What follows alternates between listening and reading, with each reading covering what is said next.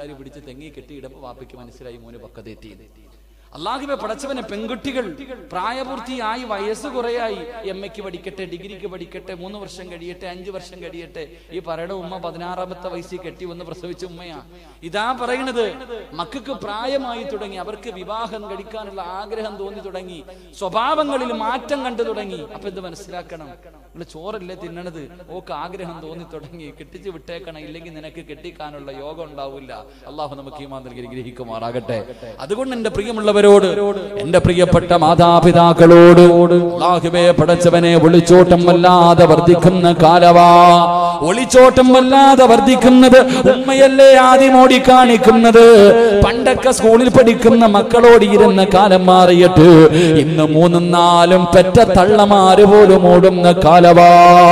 എന്തേ എന്റെ പ്രിയമുള്ളവര് എന്തേ ഇതിന്റെ കാരണം എന്തെന്നറിയുവോ അള്ളാഹുബേ പടച്ചവനെ മാതാപിതാക്കളെ ചതിക്കുന്ന മക്കൾ എന്റെ പ്രിയപ്പെട്ട ബാപ്പമാരോട് ഓർമ്മപ്പെടുത്തുകയാണ്. എന്റെ ഉപ്പമാരോട് പെമ്മക്കളുള്ള വാപ്പമാരോട് ഓർമ്മപ്പെടുത്തുകയാ. സ്വന്തം മകളോട് സ്നേഹത്തോട് ചോദിക്കണം. രജിസ്റ്റർ വിവാഹം കഴിഞ്ഞിട്ടുണ്ടോ? മക്കളോട് ചോദിക്കാൻ ചോദിക്കേണ്ട കാലമാ രജിസ്റ്റർ വിവാഹം കഴിഞ്ഞിട്ടാണോ നിൽക്കണേന്ന് കാരണം കാഞ്ഞ ബുദ്ധിയാ നമ്മുടെ പെമ്മക്കൾക്ക് അള്ളാഹു ഹീമാൻ നൽകി നിഗ്രഹിക്കുമാറാകട്ടെ അള്ളാഹു ഹീമാൻ നൽകി നിഗ്രഹിക്കുമാറാകട്ടെ ഈ അടുത്ത് ഒരു ചെറുപ്പക്കാരൻ എന്നെ ഒരു വീട്ടിൽ വിളിച്ചുകൊണ്ട് പോയി. ഉസ്താദെ ചോറുണ്ണാൻ ഇരുന്ന സ്ഥലത്ത് നിന്ന് പൊക്കിയിട്ട് പോയ. ചോറുണ്ണാൻ വിട്ടില്ല. കഴിക്കാൻ പോലും വിട്ടില്ല. അത്യാവശ്യമാ. എന്നെ വിളിച്ചൊരു വീട്ടിൽ കൊണ്ടുപോയി. ഞാൻ നോക്കുമ്പോ പടച്ചോനെ ഉമ്മയും വാപ്പയും മണ്ണെണ്ണയൊക്കെ എടുത്ത് വെച്ചിട്ട് ഒരു സൈഡിൽ നിൽക്കുന്നു. റൂമിനകത്ത് പത്തൊമ്പത് വയസ്സുള്ള മകൾ ബാഗും പിടിച്ചു നിൽക്കുന്നു. സാഹചര്യം എനിക്ക് മനസ്സിലായി. എന്തേന്ന് കാര്യം മനസ്സിലായി? വീടിനകത്ത് കയറി ചെന്നു. വീടിനകത്ത് കടന്നു ചെന്നു. പടച്ചോനെ മോൾ ഒളിച്ച് ഒന്ന് ചാടി ആരും കണ്ടില്ല. പിടിച്ച് വീട്ടിൽ കൊണ്ടുവന്ന് ഇരുത്തിയിരിക്ക ഒന്ന് ചാടി മഴ പെയ്തത് കാരണം ആരും കണ്ടില്ല. പിടിച്ചോണ്ട് വന്ന് വീട്ടിൽ ഇരുത്തിക്ക് അവൾ ബാഗ് എടുത്തിട്ട് നിൽക്കുന്നു. വാപ്പയും ഉമ്മയും മണ്ണെണ്ണയും വെച്ചിട്ട് നിൽക്കുന്നു. ഇവൾ ഇറങ്ങിയ ഇപ്പം ചാവും. ഇവക്ക് പോകണം. എന്നെ ആ എരുതിയിലാ കൊണ്ടിട്ടത്. ഞാൻ എന്ത് ചെയ്യാനാ? ഞാൻ ഇങ്ങനെ കയറിയിരിക്ക അള്ളാഹു പ്രശ്നം ഈ ഉമ്മ പറയണു ഉസ്താദെ ഇവൾ പോയ ഇനി ജീവിച്ചിട്ട് കാര്യമില്ല ഞങ്ങൾ രണ്ടുപേരും മരിക്കും. അവൾ അപ്പോഴും പറയും എനിക്ക് പോകണം. അത് മുസ്ലിം അല്ല അമുസ്ലിമായി ചെറുപ്പക്കാരെ അവസാനം ഈ ഉമ്മ പറഞ്ഞു ഞങ്ങൾ മരിച്ച ഇവളെ മയ്യത്ത് കാണാൻ പോലും ഉസ്താദെ അനുവദിക്കരുത്. അപ്പോഴാ പെണ്ണ് പറയും അതിന് ആര് വരുന്നു കാണാൻ? അതിന് ആരാ വരുന്നത് നിങ്ങൾ മരിച്ച കാണാൻ ആരാ അള്ളാഹുബെ പടച്ചവൻ ഇങ്ങനെയൊക്കെ ചർച്ചയായി. ഇവൾ എഴുന്നേറ്റിട്ട് ഇറങ്ങാൻ പോവാ. അപ്പത്തേക്ക് വാപ്പ കയറി പിടിച്ചു. വാപ്പാനെ തല്ല പിന്നെ എന്നെ എന്റെ അവസ്ഥ വാപ്പ കയറിയിട്ട് പോകല്ലേ എന്ന് പറഞ്ഞപ്പോ മാറ് പിടിച്ച് തെല്ലി കളഞ്ഞിട്ട് ബഹളം വെക്ക. അവസാനം ഞാൻ ഈ പെണ്ണിനോട് അവ എട്ടാമത്തെ അടവെന്ന രീതിയിൽ ഞാൻ ഈ പെണ്ണിനോട് പറഞ്ഞു മോളെ നിനക്ക് അത്ര നിർബന്ധമാണെങ്കിൽ പോകുന്നതിന് മുമ്പ് നിന്റെ വാപ്പയുമ്മയും മരിച്ചു എന്ന് എഴുതി വെച്ചിട്ട് പൊക്കോളാം. അവൾ എന്നെ കൊന്നില്ലെന്നേ ഉള്ളൂ. എന്നോട് ചോദിച്ച മറുപടി എന്തെന്നറിയോ? ഞാൻ പറഞ്ഞു നിന്റെ വാപ്പയും ഉമ്മയും മരിച്ചു. ഇന്നത്തോടുകൂടി ഇവരുമായിട്ടുള്ള ബന്ധങ്ങൾ തീർന്നു എന്ന് എഴുതി വെച്ചിട്ട് പോകാൻ പറഞ്ഞപ്പോ അവൾ ചോദിച്ചു എവിടെയാണ് എഴുതേണ്ടതെന്ന്? അള്ളാഹു നമുക്ക് ഈ നൽകി ഗ്രഹിക്കുമാറാകട്ടെ എവിടെയാണ് എഴുതേണ്ടതെന്നാ ചോദിച്ചത് നമ്മുടെ മക്കളുടെ എന്നത്തെ അവസ്ഥ കാരണം ഉമ്മച്ചി ഇത് മൊത്തവും കാണിച്ചു കൊടുത്തവളാ. അള്ളാഹുബെ പടച്ചവനെ അള്ളാഹുവിന്റെ പരിശുദ്ധമായ ഖുർആൻ പറഞ്ഞു മക്കളെ നന്നാക്കണമെങ്കിൽ എവിടുന്ന് നന്നാക്കണം? മക്കളെ നന്നാക്കണമെങ്കിൽ പത്തും പതിനെട്ടും വയസ്സാകുമ്പോഴല്ല നന്നാക്കാൻ നിൽക്കേണ്ടത്? അത് ആദ്യമേ ചിന്തിക്കണമായിരുന്നു. മക്കളെ നന്നാക്കണമെങ്കിൽ നേരത്തെ ചിന്തിക്കണം. അള്ളാഹുവിന്റെ പരിശുദ്ധമായ ഖുർആൻ പറയുന്നുണ്ട്. നമ്മൾ ചില ആൾക്കാരെ നോക്കിയിട്ട് പറയും. ചില ആൾക്കാരെ നോക്കിയിട്ട് പറയും നാല് മക്കളുണ്ട്. നാല് നന്നായി. ചില കുടുംബത്തിൽ നോക്കിയിട്ട് പറയും നാല് മക്കളുണ്ട്. നാല് പേരും നന്നായി. എന്നാ പറയും? ഒരുത്തം മാത്രം തലതിരിഞ്ഞു പോയല്ലോ. രണ്ടും പറയാറുണ്ട്. എന്റെ പ്രിയമുള്ള സഹോദരങ്ങളെ ഒരുത്തം തലതിരിഞ്ഞു പോയി ബാക്കിയുള്ളതൊക്കെ നന്നായി. എന്റെ പ്രിയമുള്ള സഹോദരങ്ങളെ പരിശുദ്ധമായ ഖുർആൻ വനൂഹ ഖുർആൻ പറഞ്ഞു. അള്ളാഹുവിന്റെ പരിശുദ്ധമായ ഖുർആനിൽ പറഞ്ഞു ആദമ വ ഇബ്രാഹിമ. ഖുർആൻ പറഞ്ഞു ആദൻ നബി അലിഹിസ്സലാമിനെ അള്ളാഹു തെരഞ്ഞെടുത്തു നൂഹി നബിയെ തെരഞ്ഞെടുത്തു പക്ഷേ ഇബ്രാഹിം നബിയുടെ കുടുംബത്തെ തെരഞ്ഞെടുത്തു. മൂന്ന് കാര്യ പറഞ്ഞു ഇബ്രാഹിം നബിയുടെ കുടുംബത്തെ ആദൻ നബിയെ തെരഞ്ഞെടുത്തു എന്ന് പറഞ്ഞു. കുടുംബത്തെ തെരഞ്ഞെടുത്തു എന്ന് പറഞ്ഞില്ല. അതിന്റെ കാരണം എന്തേ? ഹവാബി പ്രതി അള്ളാഹു താലാനഹ ഇരുപത് പ്രാവശ്യം പ്രസവിച്ചു. നാൽപ്പത് മക്കളുണ്ടായി. ഇരട്ട കുട്ടികളായിരുന്നു.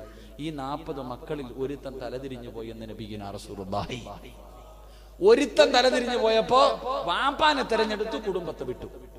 നൂഹ് നബി അലിഖിസ്സലാം തൊള്ളായിരത്തി അൻപത് വർഷക്കാലം ദഴവത്ത് നടത്തിയ നൂഹ് നബി അള്ളാഹു പറഞ്ഞു നൂഹ് നബിയെ ഞാൻ തെരഞ്ഞെടുത്തു കുടുംബത്തെ തെരഞ്ഞെടുത്തു എന്ന് പറഞ്ഞില്ല. കാരണം ആ കുടുംബത്തിലുണ്ടായിരുന്നു ഒരു തലതിരിഞ്ഞവൻ. തൂഫാൻ എന്ന് പറയുന്ന വെള്ളത്തിൽ മുങ്ങിച്ചാകുമ്പോ വാപ്പ വിളിച്ചു അടാ മോനെ കയറടാ ഏയ് ഞാൻ വരൂല. കണ്ട പർവതത്തിന്റെ മുകളിൽ കയറി ഞാൻ പോ നിങ്ങൾ ഇങ്ങടെ പണി നോക്കാൻ. അള്ളാഹുവെ പടച്ചവനെ തന്റെ പൊന്നുമോന് വെള്ളത്തിൽ മുങ്ങിച്ചാകുന്നത് കണ്ടപ്പോ പൊട്ടിക്കരഞ്ഞ ആദൻ മനൂഹ് നബിയോട് ജിബിരിൽ അലൈഹിസ്സലാം വന്നിട്ട് പറഞ്ഞു നബിയെ സ്വന്തം മോന പക്ഷെ കുടുംബത്തിൽപ്പെട്ടവനല്ല. അള്ളാഹു നമുക്ക് ഈ നൽകി അനുഗ്രഹിക്കുമാറാകട്ടെ. ആ നൂഹി നബിയോട് പറഞ്ഞു ഓ നിങ്ങളുടെ കുടുംബത്തിൽപ്പെട്ടവനല്ല.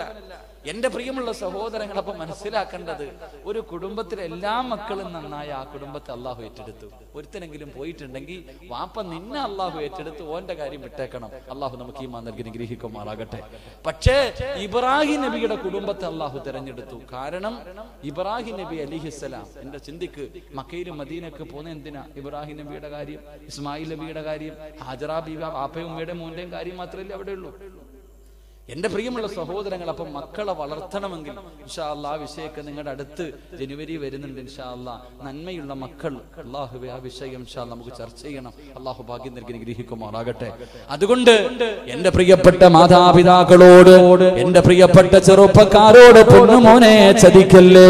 ഉമ്മാനെ നാണം കെടുത്തല്ലേ? വാപ്പാനെ നാണം കെടുത്തല്ലേ? ഒമ്പതര മാസക്കാലം നിന്നെ വയറ്റിൽ ചുമന്നുകൊണ്ട് നടന്ന് മരണവേദനയുടെ വേദനയും നിന്ന് പ്രസവിച്ച നിന്റെ പ്രിയപ്പെട്ട പെറ്റുമാര് നാട്ടുകാരുടെ മുന്നിൽ നാണം കെടുത്തിയാ രക്ഷപ്പെടുമെന്ന് തോന്നുന്നുണ്ടോ? എന്റെ പ്രിയപ്പെട്ട ചെറുപ്പക്കാരാ ഒരിക്കലും രക്ഷപ്പെടില്ല പൊന്നുമോര്. അള്ളാഹുവേ പടച്ചവര് മുസ്ലിമായ ഒരു പെണ്ണിനെ പ്രേമിച്ചിട്ട് അവളെ വിളിച്ചിറക്കി കൊണ്ടുവരുന്നത് ആണത്തമാണെന്ന് കരുതല്ലേ? പലപ്പോഴും ചെറുപ്പക്കാര് പറയാറുണ്ട് ഉസ്താദ് ഒരു പെണ്ണിനെ കൂടെ ഞാൻ ഇസ്ലാമിലേക്ക് കൊണ്ടുവന്നു. ആർക്ക് വേണമടോ ചെറുപ്പക്കാരാ? ആർക്ക് വേണം പൊന്നുമോന്? അള്ളാഹു നിനക്ക് പ്രതിഫലം തരുമെന്ന് പറയാ കഴിയുമോ? മറ്റൊരു മതത്തിലുള്ള ഒരച്ഛനും അമ്മയും പോറ്റി വളർത്തിയ പൊന്നുമോൾ അവളെ വളച്ചിട്ട് അവസാനം വീട്ടിൽ നിന്ന് വിളിച്ചിറക്കി കൊണ്ടുവരുമ്പോ ആ പാവങ്ങളുടെ കണ്ണ് നിറഞ്ഞാലും നീ അനുഭവിക്കും ചെറുപ്പക്കാരാ നിനക്കല്ലാഹു പ്രതിഫലം തരുമെന്ന് തോന്നുന്നുണ്ടോ? അള്ളാഹു നിനക്ക് പ്രതിഫലം തരുന്നെന്ന് തോന്നുന്നുണ്ടോ?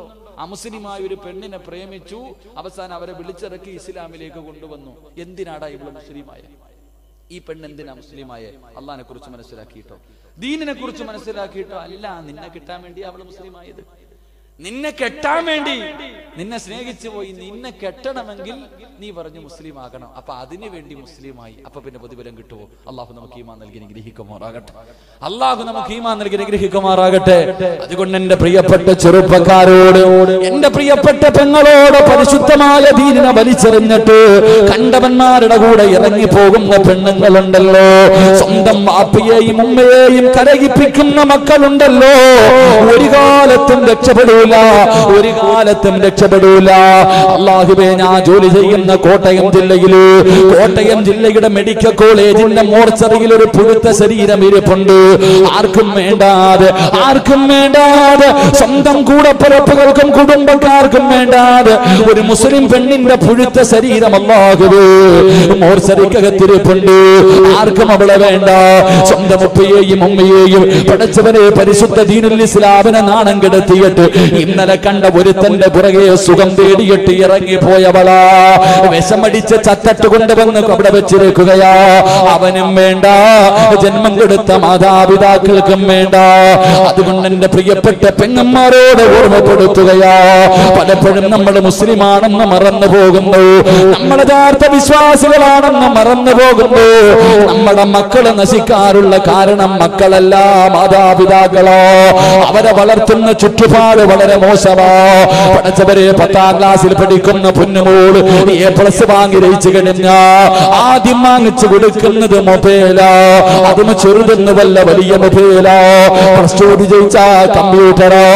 അള്ളാഹുബെ പടച്ചവനെ വേണ്ടത് വിടുവനും വാങ്ങിക്കൊടുക്കുന്ന മാതാപിതാക്കൾ.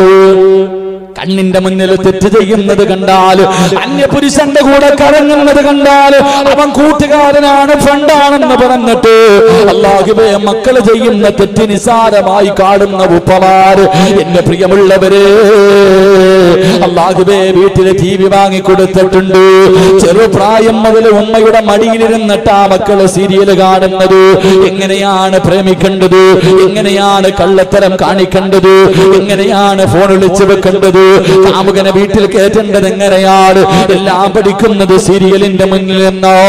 ഉമ്മയുടെ ജീവിതം തന്നെ പടച്ചവനെ കുഞ്ഞിനെ കയ്യിൽ വെച്ചിട്ട് കാമുകന്റെ കൂടെ കുഞ്ഞിന് പാൽ കൊടുക്കുമ്പോഴും സല്ലപിക്കുന്ന പെണ്ണുങ്ങളുണ്ട്. അല്ലാഹുവേ കുഞ്ഞുമക്കളുടെ കയ്യിൽ പിടിച്ചിട്ട് കാമുകന്റെ കൂടെ ഓട്ടോയ്ക്കകത്ത് കയറി കറങ്ങുന്ന പെണ്ണുങ്ങളുണ്ട്. ഇത് കണ്ടല്ലേ ഈ മക്കൾ വളരുന്നത്? ഇങ്ങനെ തലതിരിഞ്ഞില്ലെങ്കിലല്ലേ കുഴപ്പമുള്ളൂ? എങ്കിൽ എന്റെ പ്രിയമുള്ള പെങ്ങൾ ഒരു യഥാർത്ഥ മുസ്ലിം ഉണ്ടല്ലോ എഞ്ചിഞ്ചായി വെട്ടിമുറിച്ചാൽ അവർക്ക് എന്തൊക്കെ മോഹവാഗ്ദാനങ്ങൾ കൊടുത്താൽ അവർ മറന്നിട്ടിറങ്ങി പോകുന്നവരല്ലോ. ഒരു ചരിത്രം പറഞ്ഞു തരട്ടെ. വളർന്നു വരുന്ന യുവതലമുറകൾക്ക് പഠിക്കാ. ഒരേ ഒരു ചരിത്രം പറഞ്ഞു തരാ. മഹാനായ നബി മുഹമ്മദ് മുസ്തഫ സല്ലല്ലാഹു അലൈഹി വസല്ലമ രാത്രിയിൽ അല്ലാഹുവിന്റെ പ്രവാചകനെ ബുറാഖ് എന്ന് പറയുന്ന വാഹനത്തിൽ മുഖറബുൽ അലൈഹിസ്സലാമിന്റെ കൂടെ രണ്ടുപേരും ഇങ്ങനെ കടന്നു പോകുമ്പോ ഒരു സ്ഥലത്തെത്തുമ്പോ വല്ലാത്ത ഒരു സുഗന്ധമടിക്കുകയാ. വല്ലാത്ത ഒരു സുഗന്ധമടിക്കുകയാണ്. അള്ളാന്റെ റസൂര് ചോദിക്കുന്നു ജിബിരിയിൽ ഒരു വല്ലാത്ത സുഗന്ധമടിക്കുന്നല്ലോ. എവിടെ നിന്നാ ജിബിരിയിൽ അത് സ്വർഗത്തിന്റെ പരിമളമാരഭിയേ. അത് സ്വർഗത്തിന്റെ പരിമളമാണ് എവിടെ നിന്ന് ചോദിക്കുമ്പോ ഒരു കബറ് കാണിച്ചു കൊടുക്കുകയാണ്. ഒരു കബറ് കാണിച്ചു കൊടുക്കുകയാ. ആ കാണുന്ന കബറിനകത്ത് നിന്നാ നബിയേ. അള്ളാന്റെ റസൂൽ ചോദിക്കുന്ന ജിബിരിയിൽ ഏത് പ്രവാചകന്റെ കബറോ ഏത് പ്രവാചകന്റെ കബറോ അത് പ്രവാചകന്മാരുടെ കബറല്ല നബിയേ ഒരു പെണ്ണിന്റെയും മൂന്ന് മക്കളുടെയും കബറാ ഒരു വേലക്കാരിയായ ഒരടിമ പെണ്ണിന്റെയും മൂന്ന് മക്കളുടെയും കബറാണ് അതിനകത്ത് നിന്ന് ചെയ്യാമത്ത് നാൾ വരെ സ്വർഗത്തിന്റെ പരിമളം അടിച്ചു വീശുന്ന നബിയേ. അള്ളാന്റെ റസൂലിന് അത്ഭുതമാവുകയാ. അള്ളാന്റെ റസൂലിന് അത്ഭുതമാവുകയാ. ബുറാക്കും നടിപ്പിക്കുമോ ജിബിരിയിൽ ആ കബറിന്റെ ചാരത്തേക്കൊന്ന് പോകുമോ ജിബിരിയിൽ അള്ളാഹുവിന്റെ പ്രവാചകർ അവിടെ നിന്ന് ചോദിക്കുന്നു ജിബിരിയിൽ ഈ ഉമ്മയും മക്കളും ആരാ ജിബിരിയിൽ അവിടെ നിന്ന് പറഞ്ഞു കൊടുക്കുന്നു യാ റസൂലല്ലാ മാജിത്ത ബീവിയുടെയും മക്കളുടെയും കബറാരബിയേ അള്ളാന്റെ റസൂൽ ചോദിച്ചു ഇസ്ലാമിന്റെ ഏറ്റവും വലിയ ശത്രുവായ ഫിറൌനിന്റെ കൊട്ടാരത്തിലെ വേലക്കാരിയാരവിയേ ആ പെണ്ണിനെ പ്രതിഫലം കിട്ടാറുള്ള കാരണം എന്തെന്നറിയുമോ എന്റെ സ്നേഹനിധികളായ ഓരോ പെണ്ണുങ്ങളും പാറയിൽ തറച്ചു വെച്ചതുപോലെ ഈ ചരിത്രം നിന്റെ ഹൃദയത്തിൽ എഴുതി ചേർത്തോ. അള്ളാന്റെ റസൂലിനോട് പറയുന്ന ആ റസൂലല്ലാ മൂസാ നബിയുടെ കാലഘട്ടത്തിൽ ജീവിച്ച പെണ്ണോ? ഫിറൗനിന്റെ കൊട്ടാരത്തിലെ വേലക്കാരിയോ? ഇസ്ലാമിലേക്ക് കടന്നു വരികയാണ് മൂസാ നബി പ്രവാചകനാണെന്ന് അംഗീകരിക്കുകയാണ് ഒരു ദിവസം മൂസാ നബി പറഞ്ഞു കൊടുത്തു മാസിത്ത എന്ത് നല്ല കാര്യം ചെയ്യാ തുടങ്ങുമ്പോഴും ബിസ്മില്ലാ റഹ്മാനിർ റഹീം. അള്ളാന്റെ പേര് പറഞ്ഞിട്ട് തുടങ്ങാവൂ. കൊട്ടാരത്തിന്റെ മണിയറക്കകത്ത് പ്രിയപ്പെട്ട പൊന്നുമോളുടെ മുടിചീക. ഫിറൌനിന്റെ മകളുടെ മുടിചീക. ഒരു പുതിയ ചീപ്പെടുക്കുകയാ.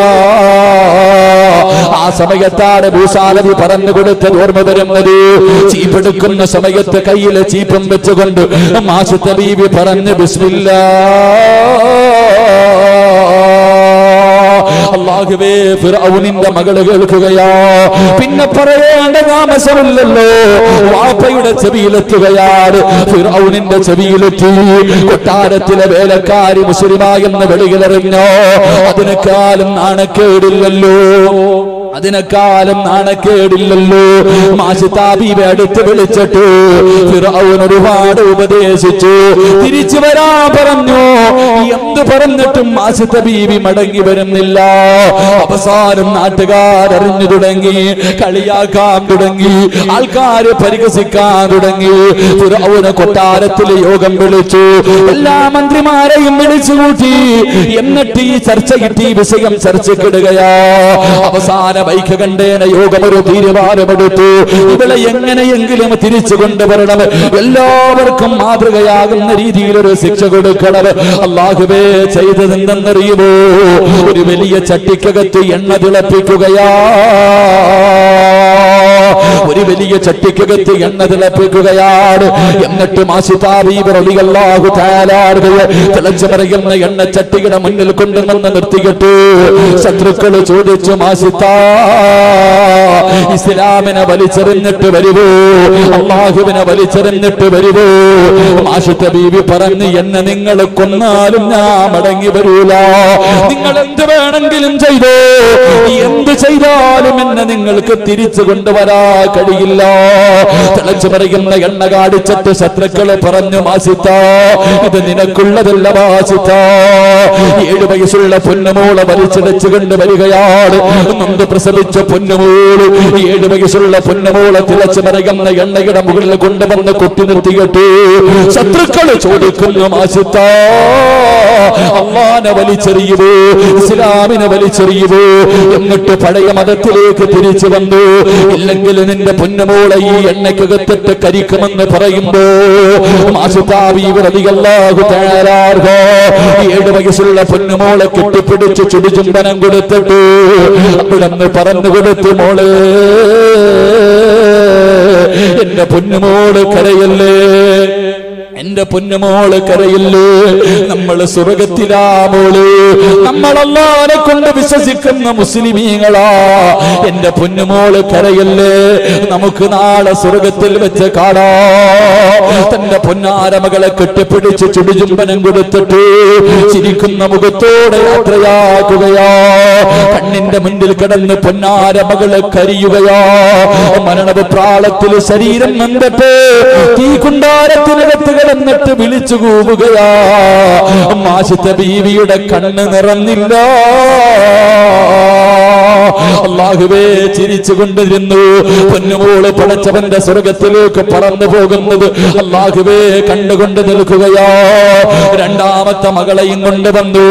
ഇതുപോലെ തികട്ട് ചോദിച്ച മാറ്റമുണ്ടോ മാസിത്ത പെണ്ണേ സീരിയലിന്റെ കഥയല്ല. ഏതെങ്കിലും ഒരു വൃത്തികെട്ട പരിധി വെച്ച സാങ്കല്പിക കഥയല്ല.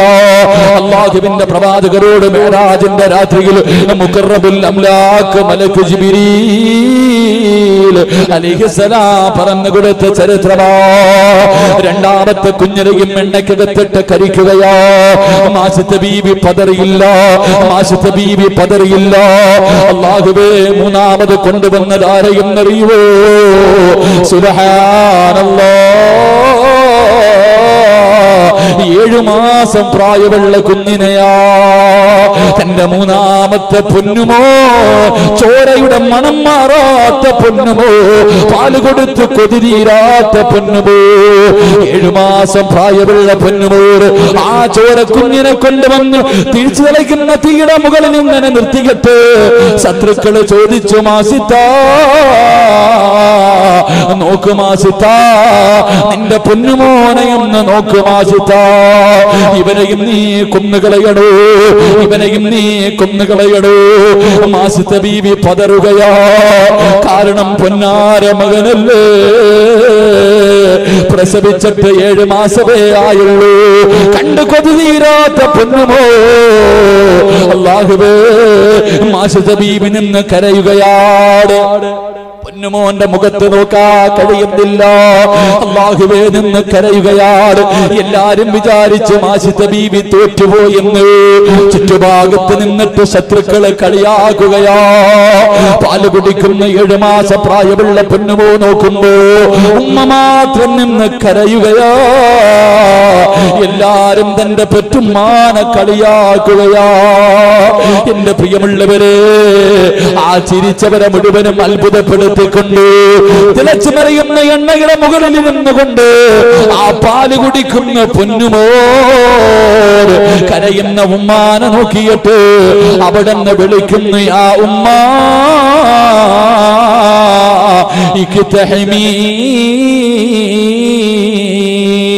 അള്ളാഹുവേ പൊട്ടിക്കരന്നുകൊണ്ടിരുന്ന ഉമ്മയെ വിളിക്കുകയാ.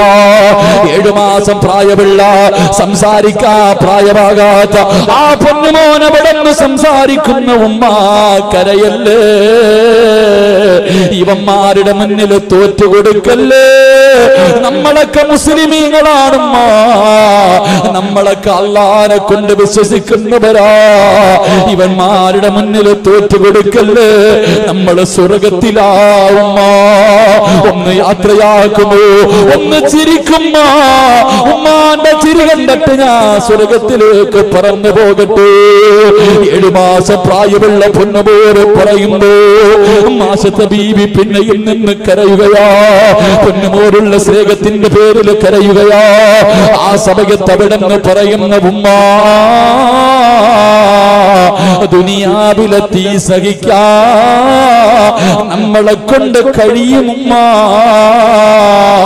പക്ഷേ പടച്ചവന്റെ നരകത്തിന്റെ തീയുണ്ടല്ലോ. അത് താങ്ങാനുള്ള കഴിവ് നമുക്കില്ല ഉമ്മ. ഈ തിളച്ചു പറയുന്ന എണ്ണയുടെ താഴെയാ സ്വർഗമിരിക്കുന്നത്. പറയേണ്ട താമസമുണ്ടല്ലോ. കണ്ണുനീര് തുടച്ചു കളഞ്ഞിട്ട് ഓടി വന്ന് പൊന്നുപോലെ കെട്ടിപ്പിടിച്ച് ചുടുചുംബനം കൊടുത്തിട്ട് ഏഴു മാസ പ്രായമുള്ള പൊന്നാര മകനെയും യാത്രയാകുകയാ മൂന്ന് മക്കളും മരിച്ചു. മാസത്തെ ബീവി ഇങ്ങനെ നിൽക്കുമ്പോ സാക്ഷാൽ ഫിറൗൻ ഇറങ്ങി വരികയാണ്. ഫിറൗൻ ഇറങ്ങി വരികയാ. എന്നിട്ട് തന്റെ വീട്ടിലെ വേലക്കാരിയായ പെണ്ണിനോട് പറഞ്ഞു മാസിത്ത തോറ്റുപോയി മാസിത്ത നിന്റെ ഈമാനിന്റെ മുന്നിൽ നിന്റെ വിശ്വാസത്തിന്റെ മുന്നിൽ നിന്റെ വിശ്വാസത്തിന്റെ മുന്നിൽ തോറ്റുപോയി മാസിത്ത ഇതാരാ പറഞ്ഞത്? ഇതാരാ പറഞ്ഞത്? ഞാനാണടോ റബ്ബെന്ന് പറഞ്ഞ. ഈ ലോകത്തിന്റെ അധിപൻ ഞാനാണെന്ന് പറഞ്ഞ.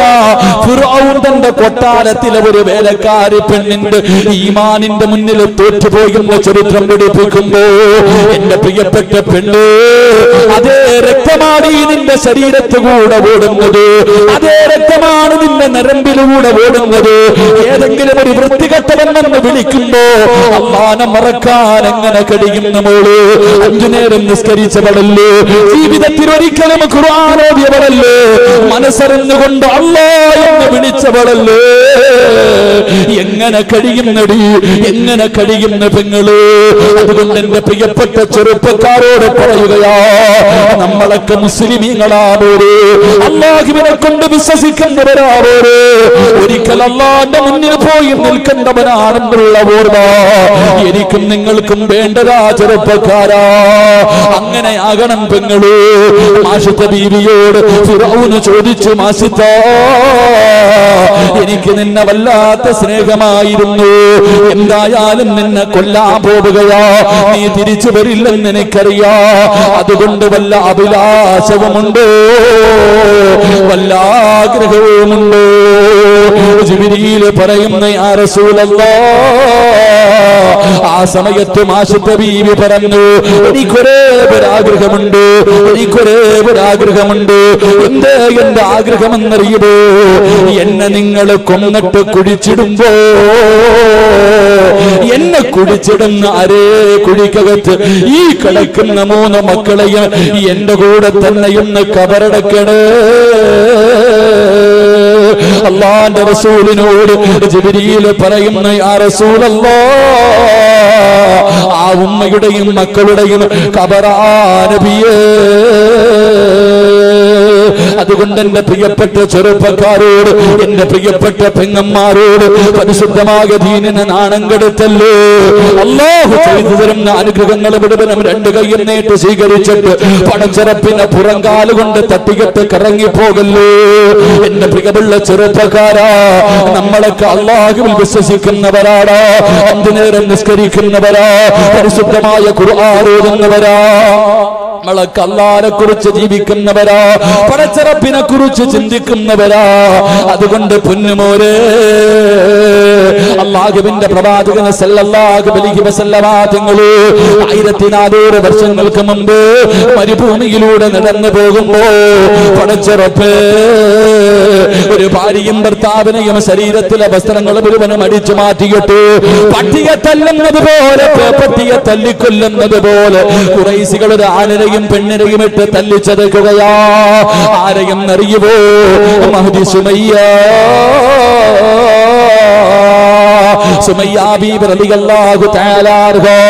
തന്റെ പ്രിയപ്പെട്ട ഭർത്താവ് യാസിർ റളിയല്ലാഹു തആല അൻഹു രണ്ടുപേരെയും ഇട്ട് തല്ലിച്ചതയ്ക്കുകയാ അല്ലാഹുവേ റസൂലുള്ളയും മഹാനായ ഉസ്മാൻ നടന്നു പോകുമ്പോ രണ്ട് കയ്യും കാലും കെട്ടിയിട്ട് കത്തിക്കൊണ്ടിരിക്കുന്ന തീകകത്തേക്ക് തലകീടായി കെട്ടി തൂക്കിയിട്ടിരിക്കുകയാ. അള്ളാന്റെ റസൂൽ മുസ്മാന് തങ്ങളും നോക്കുമ്പോ കയ്യും കാലും കെട്ടിയിട്ട് കത്തിക്കൊണ്ടിരിക്കുന്ന തീക്കകത്ത് കീഴായി കെട്ടിയിട്ടിരിക്കുന്നു. പച്ച ഇറച്ചി ഇങ്ങനെ കരിയുകയാണ്. തന്റെ ഭർത്താവ് ഇങ്ങനെ മരണപ്രാളത്തിൽ കിടന്ന് കരയുമ്പോ തന്റെ പ്രിയപ്പെട്ട ഭർത്താവ് തീക്കകടുത്ത് കിടന്ന് കരിയുമ്പോ സുമയ്യാബീബ് റളിയല്ലാഹു തആല അൻഹ ഓടി വന്നിട്ട് തെള്ളി വെളിയിലേക്കിട്ടു ശരീരം മുഴുവനും കത്തിക്കരിഞ്ഞ് മരണപ്രാളത്തിൽ കിടന്ന് അവസാനം ഇങ്ങനെ കരയുമ്പോ അള്ളാന്റെ റസൂൽ അടുത്തേക്ക് കടന്നു വന്നു. യാസിർ ചോദിച്ചു യാ റസൂലല്ലോ ജീവിതത്തിന്റെ അവസാനം വരെ ഇങ്ങനെയാണോ നബിയേ? അള്ളാന്റെ റസൂൽ പറഞ്ഞു നീയും നിന്റെ കുടുംബവും സ്വർഗത്തിലാ. ഇത് കേൾക്കേണ്ട താമസം മരണത്തോട് മല്ലടിക്കുന്ന ഭർത്താവിനോട് പറഞ്ഞു നമ്മൾ സ്വർഗത്തിലാ തോറ്റുകൊടുക്കല്ലേ? അള്ളാഹു അഹദ് പടച്ചവനാണ് വലിയവന്. ഇവന്മാരുടെ മുന്നിൽ തോറ്റുകൊടുക്കല്ലേ എന്ന് ഭർത്താവിന് ധൈര്യം കൊടുക്കുമ്പോ അബൂജഹൽ കമ്പിയെടുത്തിട്ട് സുമയ്യാ ബീവിയുടെ നട്ടലിന്റെ ഭാഗത്തുകൂടെ കുത്തിയിറക്കി വയറ് തുളച്ചിട്ട് കമ്പി വെളിയിൽ വന്നു. അള്ളാഹുവേ പടുത്തു കിടക്കുന്ന മലരാരുണ്യത്തിലേക്ക് കമന്നു വീണു. ആ കിടപ്പിൽ കിടന്നുകൊണ്ട് സുമയ്യ അപ്പോഴും പറഞ്ഞു യാസിറേ നമ്മളൊക്കെ മുസ്ലിമീങ്ങളായ അസിറേ അള്ളാനം മറക്കല്ലേ? അള്ളാനെ മറക്കല്ലേ? ഭർത്താവിന് ധൈര്യം കൊടുക്കുന്ന ഭാര്യയെ കണ്ടപ്പോ പൂജകര് കാലെടുത്തിട്ട് സുമയ്യയുടെ കഴുത്തിൽ ചവിട്ടിയിട്ട് മണ്ണിലേക്ക് ചവിട്ടി താഴ്ത്തി. അപ്പോഴും പറഞ്ഞ നമ്മൾ മുസ്ലിമീങ്ങളോ. പിന്നെയും ഭർത്താവിന് ധൈര്യം കൊടുക്കുന്നത് കണ്ടപ്പോ കുത്തിയ കമ്പി അങ്ങോട്ട് വലിച്ചൂരിയിട്ട് പിടിച്ച് മലർത്തി കിടത്തിയിട്ട് ആ കമ്പി തന്റെ ഗുഹ്യഭാഗത്തേക്ക് കുത്തിയിറക്കിയപ്പോഴും സുമയ്യ വിളിച്ചു പറഞ്ഞതല്ലോ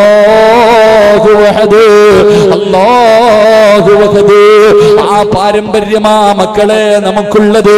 ആ പാരമ്പര്യമാ നമുക്കുള്ളത്. അതേ രക്തമാ രക്തമാണ് നമ്മുടെ നരമ്പത്തിൽ നമ്മുടെ നരമ്പിലും ഓടുന്നത്. അതുകൊണ്ട് എന്റെ പ്രിയപ്പെട്ട ചെറുപ്പക്കാരോട് എന്റെ പെങ്ങന്മാരോട് സ്വന്തം മാന ചതിക്കല്ലേ? പോറ്റി വളർത്തിയ വാപ്പയ ചതിക്കല്ലേ? നിനക്കൊരു ജീവിതം തന്നവനെ മറന്നിട്ട് കണ്ടവന്റെ കൂടെ ഓടല്ലേ? ഓടിയാ നിന്റെ അവസാനം വളരെ മോശമാകുമെന്ന് നബി മുഹമ്മദ് മുസ്തഫ. അലൈഹി അള്ളാഹു നമുക്ക് നല്ല മരണം നൽകി അനുഗ്രഹിക്കുമാറാകട്ടെ. അള്ളാഹു നല്ല മരണം നൽകി അനുഗ്രഹിക്കുമാറാകട്ടെ. സംഘാടകർ ബക്കറ്റ് എടുത്തു ഇൻഷാ എല്ലാവരും ഒന്ന് കൈയിട്ടെ പോക്കറ്റിലേക്ക് ഒരു നല്ല ഒന്നുമില്ല പോലെ ഉള്ള. ഇൻഷാ അല്ലാ. ഉള്ളതാവട്ടെ എല്ലാവരും ഒന്ന് പോക്കറ്റ് കൈയിട്ടെ ഒരു നല്ല സദക്ക. അള്ളാഹുബെ ഒരു നല്ല മരണം വേറെ ഒന്നും വേണ്ട പടച്ചവനെ. എനിക്ക് വേറെ ഒന്നും വേണ്ട അല്ലാ മരിക്കുന്ന സമയം നന്നാക്കി തരണം. ഷഹീദിന്റെ കൂലി കിട്ടുന്ന ഒരു മരണം തരണമെന്ന ഒറ്റ നീയത്തോടെ ഒരു നല്ല സദക്ക. നാളെ ഇവിടെ വഴുതു പറയാൻ ഉസ്താദ് വരും കേൾക്കാൻ നീ ഉണ്ടാകില്ല. വയത് കേൾക്കാൻ നീ ഉണ്ടാകില്ല പള്ളി കാട്ടി കിടന്ന് കേൾക്കാനുള്ളത്. ഒരു നല്ലത് ചെയ്തിട്ട് പിരി. എല്ലാവരും ഒരു സദക്ക അപ്പോൾ പെട്ടെന്ന് പോയി. ഒരു മൂന്ന് സ്വലാത്ത്. സുല്ലാഹു അലാ മുഹമ്മദ്.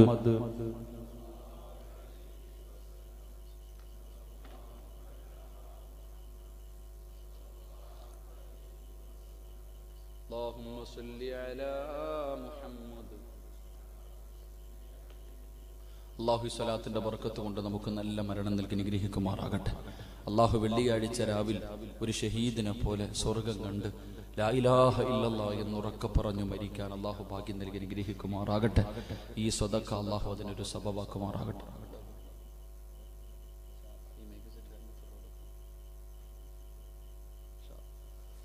അഹമ്മദില്ല അള്ളാഹു കബൂലാക്കുമാറാകട്ടെ. സമയം പതിനൊന്ന് മണിയായി. ഞാൻ നിർത്തുകയാണ്.